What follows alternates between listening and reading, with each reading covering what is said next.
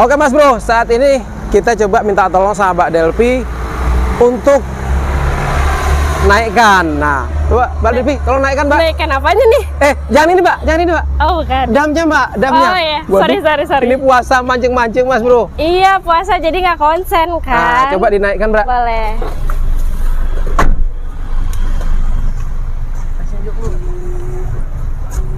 Nah, ini damnya bisa naik. Ini kapasitas sebetulnya jacknya 5 ton ya. Tapi kita mumpuni sama mobil itu tidak mumpuni dengan kapasitas muatan 5 ton. Ya, kalau untuk naiknya gampang banget. Tinggal telepon Mbak Devi cara naiknya. Dia udah pinter banget untuk naikkan atau turunkan. Siap bisa. Tanpa dipandu sudah bisa bang.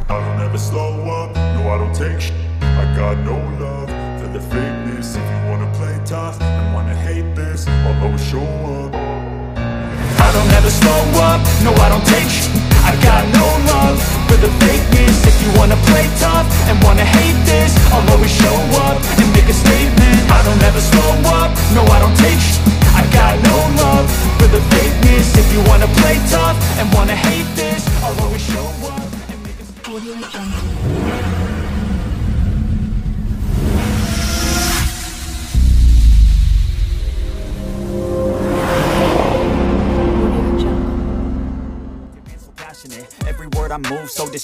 like an adjective. I got a vendetta against people who patented being negative when you should be getting after it. I got facts over facts over tracks, this and that, spitting slow, spitting fast. I could roast, I could gas, think I'm okay at last, but I don't know if that can erase all the past and the pettiness. A reflection of the emptiness, hilarious. You think you're with my time, you're delirious, mysterious because you hide behind a fake exterior, inferior. You know I'll always be a bit superior. Get off of me, this ain't no humble brag. I want you to hear words, you can say them back. I want you to feel free from the chains that last and to believe in what you got. It was built to last, yeah. Halo Auto Lover, balik lagi masih bersama saya Mahmudi Prastia di channel YouTube otomotif.net. Ini saat ini kita berada di Pulau Lawan, tapi masih tetap di Provinsi Riau. Tepatnya di Kerinci Kota. Untuk alamat jelasnya tuh di sekitaran Ramayana. Nah kali ini kita bertandang aja ke DFSK yang berada di Pulau Lawan. Nih kita mau karena di kemarin di Pekanbaru tuh nggak ada yang untuk DFSK yang jenis Super Cup tapi jenis dam. Nah, untuk adanya itu di daerah Kerinci, makanya kita dengan tim langsung bertandang ke sini ditemani sama Bang Randi, laku kepala cabang DFSK-nya ya. Dan hari ini coba kita review nih seperti apa sih ya speknya untuk Super Cup 1500 cc sudah AC power steering. Ini cukup lumayan ya penjualannya juga lumayan bagus dan dari segi harga juga lumayan terjangkau.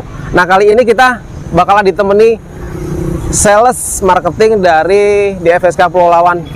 Lumayan cakep orangnya Mas Bro ya. Nanti Mas Bro bisa langsung hubungi beliau nanti kita ngobrol-ngobrol, kita nanya-nanya spek dan seputar diskon. Oke, langsung kita jumpai. Mungkin kayaknya dia lagi ada di sana. Nah, itu dia orangnya. Halo bang. Halo, Halo. Apa kabar Mbak Delvi? Baik bang. Ini saya panggil Mbak karena kesannya orangnya agak lebih tinggi dari aku Oh ya. gitu. Dan Lebih- yang ketinggian ya. Lebih tinggi, tapi lebih tinggi dari segi ukuran body ya. Tapi kalau di mana-mana bakalan pas tuh nanti. Eh, bisa disesuaikan gitu ya bang ya. ya, seperti itu. Oke ya, boleh. ini eh, Mbak Delvi Oh. eh, apa di sini Mbak? Eh, kebetulan saya sales marketing di sini bang. Untuk DFSK Di daerah Pulau Lawan. Iya benar nah, sekali. kita bicara diskon sama harga. Nah ini Mbak, aku minta jelasin dong ini Mbak. Oh boleh. Ini ada unit super cap Amrol kita. eh, yang mana harga OTR kita di 238 juta.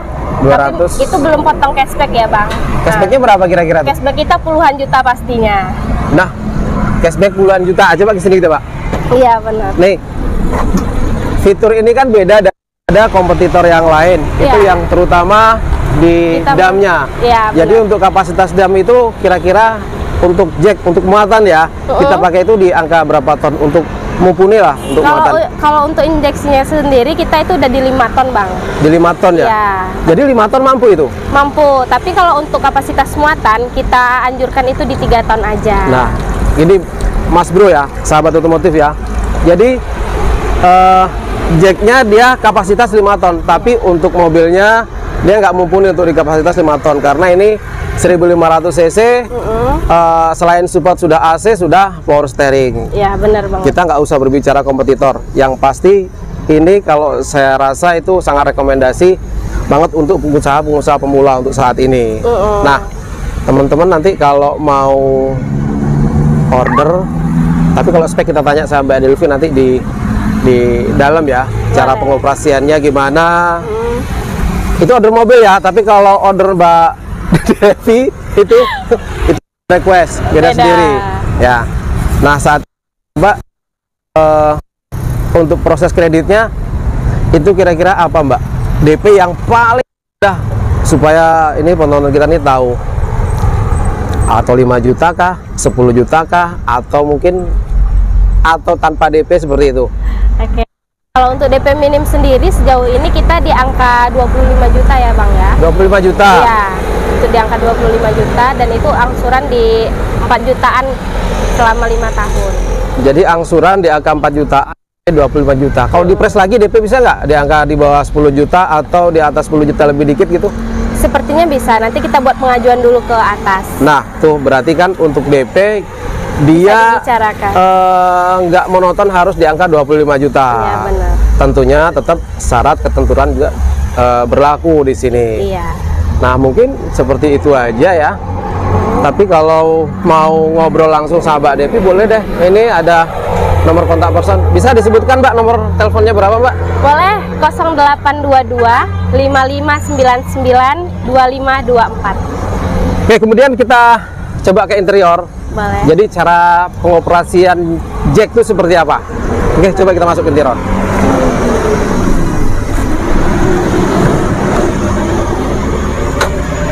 Nah, coba Mbak Devi eh, terangin cara pengoperasian untuk jacknya. Nah, pengoperasian untuk jacknya. Nah, eh, injeksi kita kan kebetulan sudah elektrik ya. Jadi kita harus menghidupkan mesin baru bisa kita naikkan atau turunkan untuk damnya. Kita udah Siap. pakai yang elektrik. Jadi ini on off-nya. Ini untuk up, ini untuk down. Oh, jadi ini Mas Bro ya, untuk up ini berarti dia naik. Dinaikkan, iya. Ini bahasa benar. Inggris Mas Bro. Kalau down ini Diturunkan. diturunkan. Iya, benar. Ya, besok kalau di rumah bilang ya, eh Bu, up Bu, eh Bu, down gitu. Jadi bisa up, bisa down. Boleh. Boleh. Jadi lebih upgrade ya. Iya.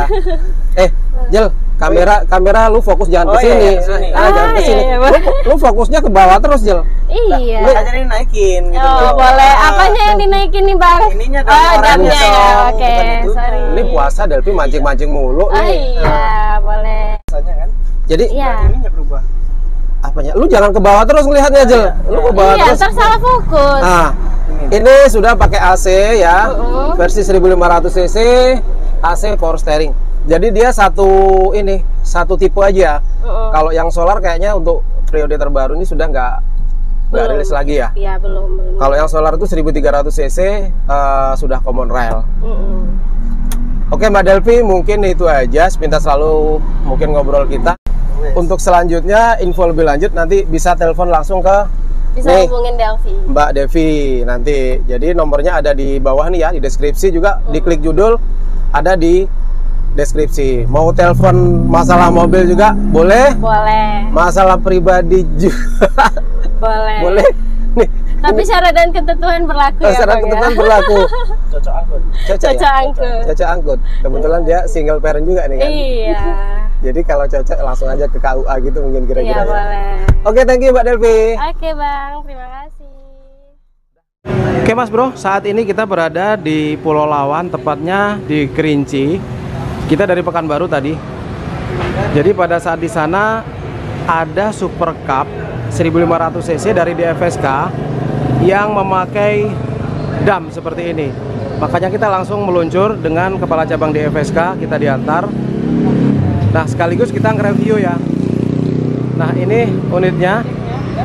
Ini betul-betul dump truck mas bro ya kayak dump truck banget cocok banget ini untuk langsir sawit dan kabarnya untuk rangkaian dam ini sudah include dengan kerangkeng ini mas bro jadi nggak usah khawatir mas bro ya Ini Super Cup. Di brand lain kayaknya belum ada ya. Yang include seperti ini. Ini Super Cup dengan brand DFSK dengan mesin 1500 cc di VVT. Jadi untuk ground clearance ini di FSK lumayan tinggi banget Mas Bro. Ya, kalau dibanding kompetitornya stop lamp masih biasa seperti ini. Terus ini sebetulnya baknya ini awalnya three way, tapi karena dia dipakai dam seperti ini, jadi three way-nya dimatiin untuk di bagian depan sana dilas mati, jadi nggak ada three way lagi. Artinya dia muatan bakalan uh, terbuang ke arah belakang sini. Oke ya, kita lanjut nge-review sebelum kita ke arah depan di interior ya. Oke, sebentar kita minta tolong ke temen suruh naikkan dam. Jel bisa bantu naik agak tinggi Jel naik untuk damnya? Tinggi. Ya. Oke, stop. Nah, kalau kita lihat untuk pompa atau orang menyebutnya PTO ini sangat kecil ya seperti ini. Tapi dia mampu mengangkat kapasitas 5 ton. Kapasitas 5 ton untuk jacknya ini ya. Nah tuh. Jacknya ini kapasitas 5 ton. Selain itu mas bro di FSK itu sudah memakai ABS boleh kita zoom ya? Nah itu dia udah memakai ABS untuk kompetitor kayaknya masih belum. Selain ada kompetitor yang satu negara. Cuman yang satu negara itu sama-sama 1500 cc tapi kesannya kayak MPV dipotong gitu ya. Nah ini jacknya berkapasitas 5 ton. Tapi standar untuk disc hub muatan mobil ini kan nggak boleh dari lebih dari 5 ton. Nah seperti itu. Oke lanjut kita ke arah depan. Untuk handle pintu masih biasa seperti ini ya. Biasa. Dan spion mas bro. Ini uh, cukup gede. Nggak sekedar spion kalau menurut saya nggak sekedar spion. Jadi yang betul-betul gede. Dipersiapkan seperti ini. Selain itu mungkin kekokohannya seperti itu. Ada lampu sen di sambung sini. Untuk lampu kalau sepintas lalu sih kita lihat kayak proji ya. Padahal ini bukan proji ini hanya multi reflektor di bagian depan itu logo grill uh, ciri khas dari prototipe di FSK seperti itu. Nah kemudian coba ada apa di balik uh, kap mesin? Kita minta bantu gel kita minta coba naikkan kap mesin baru boleh kita lihat di bagian interior. Nah di dalam kap mesin nggak ada mesin mas bro. Kalau mobil-mobil yang lain di sini adalah kap mesin ya kalau untuk mobil ini mesinnya tuh berada di bawah jok. Ini untuk uh, oil brake ya, berikut dengan apanya. Dan ini untuk air kaca dan ini untuk water coolant. Itu motor untuk wipernya. Cuman itu aja yang ada di sini Mas Bro. Yang lain nggak ada. Oh, di sini ada kipas. Kipas itu adalah untuk pendingin AC. Ya, ini kalau kita lihat dari jauh modelnya seperti ini mas bro. Nah mantap ya. Coba kita ke dalam cara pengoperasian uh, damnya seperti apa. Oke ya ini kita berada di dalam. Untuk door trim masih biasa layaknya mobil niaga ya. Kalau kita bilang plastik ya nggak plastik tapi ada empuk-empuknya kayak soft touch tapi di sebelah sini kan tidak ada uh, door pocket. Tapi untuk di bagian kemudi sana ada. Handle-nya seperti ini kacanya masih uh, power ankle seperti ini. Untuk tembakan kisi AC ada empat penjuru. Nih. Ini untuk uh, eh, AC nya dia memakai 1500 cc eh AC nya sangat dingin banget mas bro. Maksudnya udah AC power steering mesin 1500 cc ya. Nah untuk joknya dia fabric seperti ini cuman dia nggak ada headrest tapi kita lihat dari arah kemudi sana coba. Jadi kalau mas bro berminat boleh langsung telepon ya nomor yang ada di deskripsi. Nanti kita lihat sekilas untuk uh, Glory 560 nya nah ini untuk di bagian kemudi ini ada door pocket seperti ini tapi yang lainnya sama Ini untuk hazard, ini untuk eh, AC dan fabric dia tidak ada eh, headrestnya. Ini untuk mengoperasikan damnya seperti ini, Mas Bro. Jadi di sini ini keadaan on, ada up, ada down. Artinya up iki munggah atau naik, artinya down iki medun atau turun. Ini bahasa Jawa nih Mas Bro ya. Kalau ini di sini taruh bahasa Inggris supaya mungkin yang lain tahu. Tapi kalau mbokku gak bakalan tahu iki Mas Bro. Ya, ini kalau kita up, ini bakalan naik. Wah, ini belum di on kan nih. Nah, ini on dia hidup lampunya. Nah, itu bakalan naik ya. Oke, coba kita turunin. Nah, tuh dia turun tuh. Nah, tuh kita tekan. Nah, turun.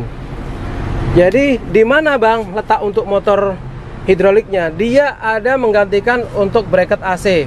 Bukan berarti AC-nya nggak ada ya. AC-nya tetap ada tapi dipasang dengan bracket yang berbeda. Oke ya, Mas Bro, mungkin itu aja review singkatnya untuk DFSK yang berada di daerah Pulau Lawan. Belum sampai turun habis, Mas Bro. Kita turunkan habis dulu. Oke.